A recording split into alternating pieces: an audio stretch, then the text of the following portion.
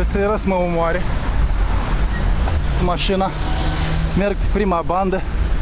El fără să semnaleze. Era să intre pe trotuar peste mine.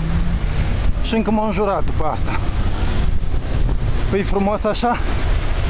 Băi, bucureșteni.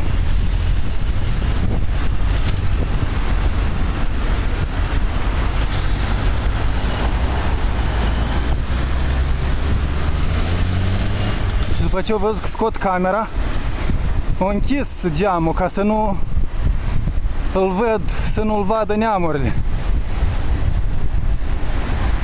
la televizor. Poate e rușine de ce au făcut. Are o salvare.